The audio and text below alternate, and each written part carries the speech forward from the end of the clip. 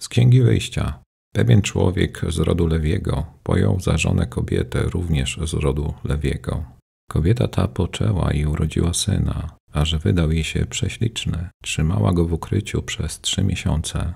Nie mogła jednak dłużej go ukrywać. Wzięła więc koszyk z papirusowej trzciny, nasączyła go żywicą i smołą, włożyła do niego dziecko i umieściła w sitowiu nad brzegiem Nilu. Siostra chłopca, ciekawa dalszych jego losów, obserwowała wszystko z daleka. W tym czasie córka faraona przybyła nad Nil, aby się wykąpać, a jej służące przechodziły nad brzegiem rzeki. Nagle zobaczyła koszyk wśród sitowia, kazała więc służącej, aby go przyniosła. Uchyliła wieko i zobaczyła chłopczyka. Wzruszyła się, bo był zapłakany i rzekła: Pewnie jest to hebrajskie dziecko. Wówczas jego siostra powiedziała do córki faraona: Jeśli chcesz, przyprowadzę niańkę spośród kobiet hebrajskich, aby wykarmiła je dla ciebie. Zrób tak, odparła córka faraona. Dziewczyna pobiegła i zawołała matkę chłopczyka.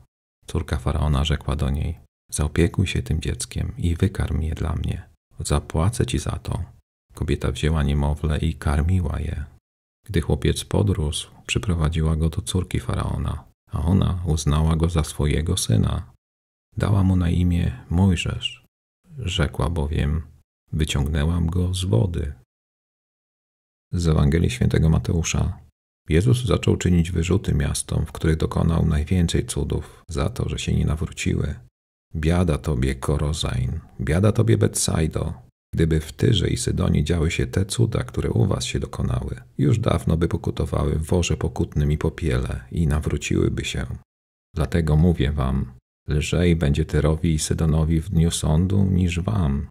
A ty, Kafarnaum, czy aż do nieba masz być wywyższone, aż do piekła stąpisz?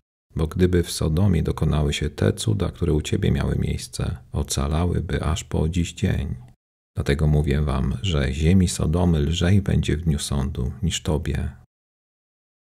Mamy taki zwyczaj, że na wieczornej mszy świętej zawsze dzielimy się słowem, które Pan Bóg nam daje przez Kościół e, i dzisiaj jest taka kolekcja wyjątkowa, pełna kontrastu. Dwa czytania, które e, ze sobą jakoś nawet trochę się powiedzmy sprzeczają, może kłócą, e, ponieważ w Ewangelii jest mowa o tym, o wielkich miastach, miastach bardzo słynnych, w których też dokonywały się jakieś liczne cuda, wyjątkowych miastach, a mimo to y, te miasta stały się ruiną. I Jezus zapowiada tą ruinę tych wielkich miast. Z drugiej zaś strony jakiś nikomu nieznany człowiek, również nieznanych rodziców, jakieś dziecko, które jest wyrzucone przez matkę właściwie do kosza, do rzeki, staje się wielkim wodzem. Wielkość, która staje się ruiną i ruina, która staje się wielkością. I popatrzcie, chyba w tamtym roku było kilka takich informacji w wiadomościach podawanych o znajdowanych dzieciach w śmietniku, wyrzuconych dzieciach. To akurat jest taka historia, która się udała i która została sfotografowana przez Ducha Świętego i przechowana w Piśmie Świętym i mamy ją dzisiaj tutaj po prawie czterech tysiącach, no trzech tysiącach latach.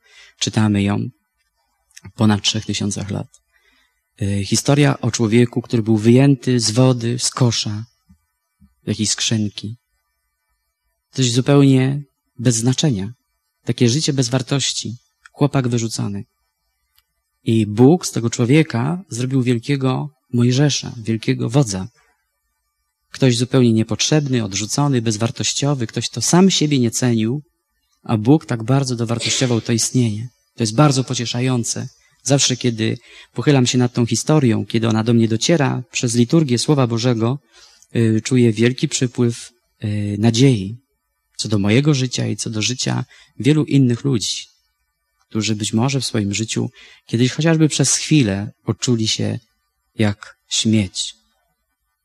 Jak ktoś zupełnie niepotrzebny na świecie. Bo popatrzcie, jak ta historia w ogóle brzmi. To jest historia natchniona, święta.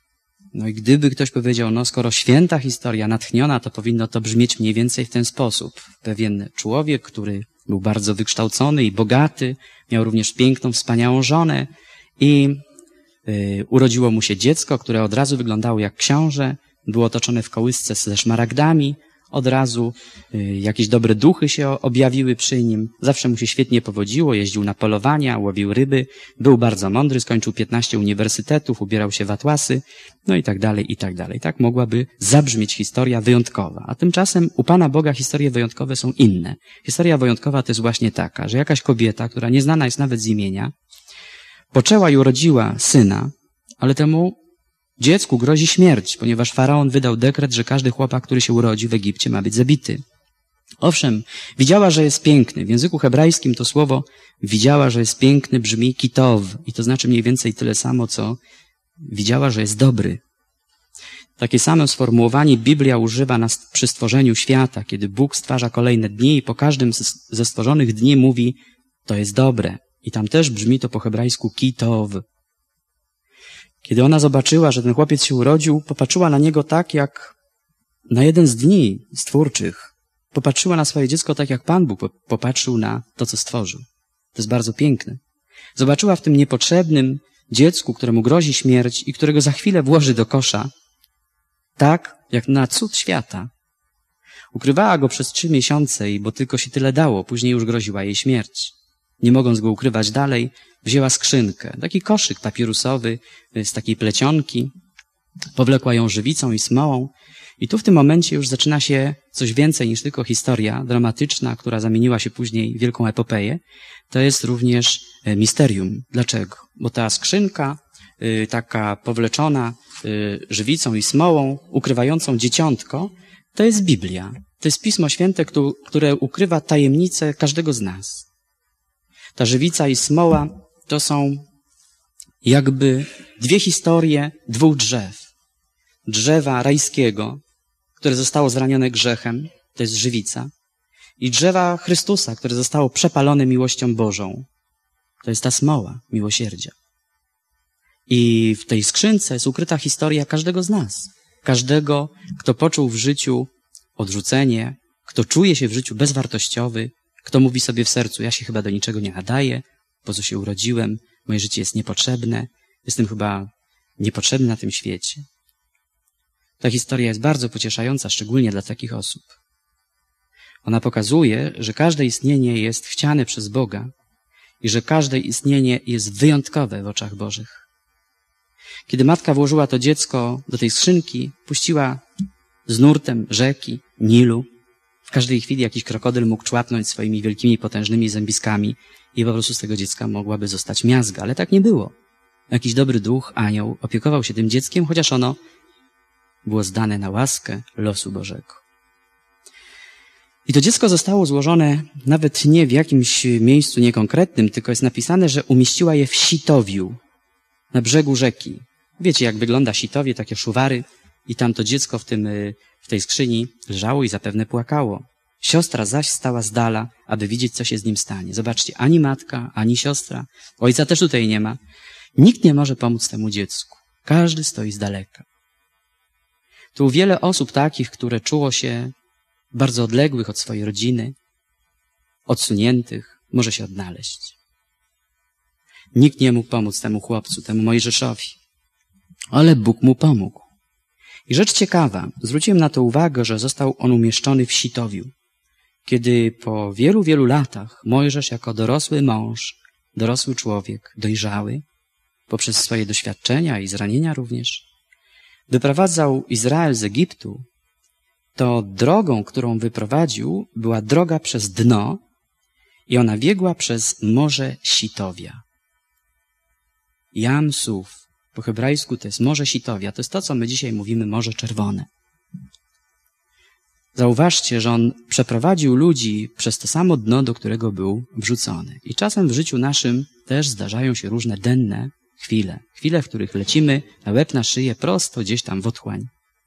I zastanawiamy się po co, jaki sens jest tego, że zostaliśmy gdzieś tam wyrzuceni, zrzuceni, odrzuceni, że nasze życie jest takie denne, że gdzieś tam aż toniemy w przepaściach, może właśnie po to, żeby później te 603 tysiące wyprowadzić tą samą drogą.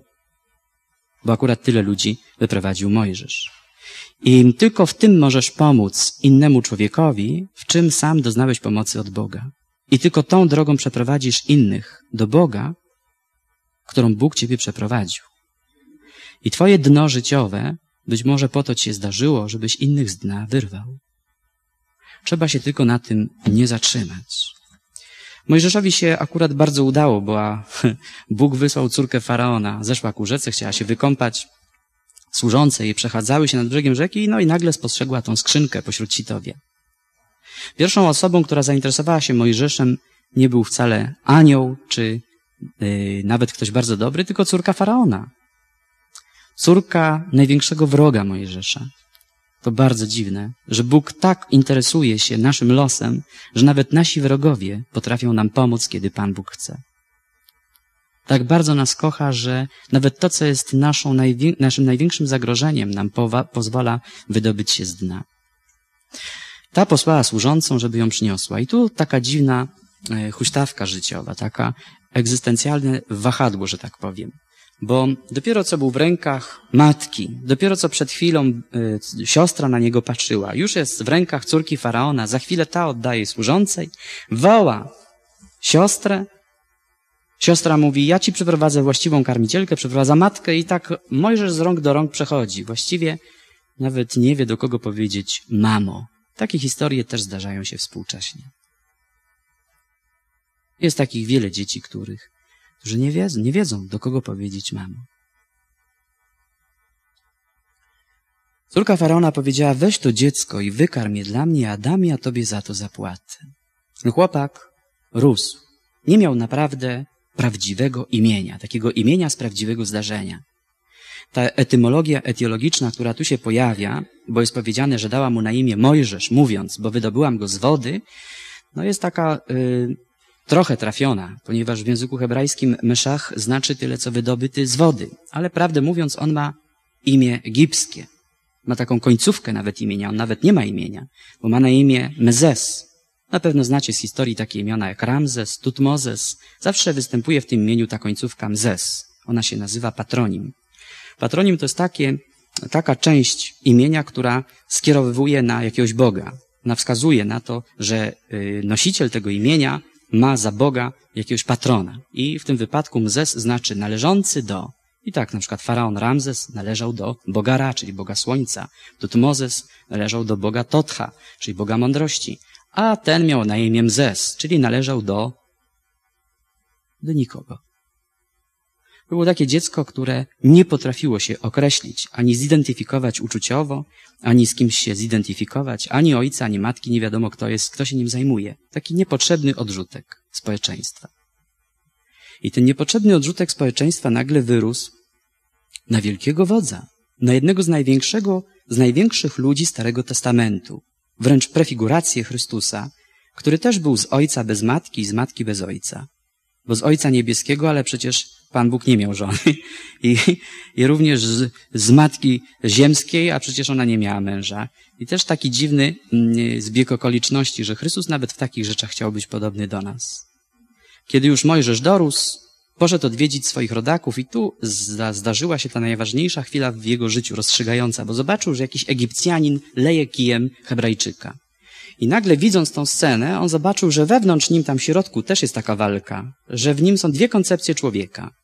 Albo być takim Egipcjaninem, człowiekiem sukcesu, człowiekiem dobrze ustawionym w społeczeństwie, w cudzysłowie synem faraona y, i człowiekiem, który zrobił karierę, jest na szczycie społeczeństwa, dobrze mu się wiedzie, może oglądać z założonymi rękami, jak ktoś inny y, gdzieś tam pracuje, nie musi dbać o pieniądze, albo być kimś bardziej sobą, być Hebrajczykiem, stracić pałac, stracić fundusze, stracić być może piękne ubranie, zostać znowu wyrzutkiem.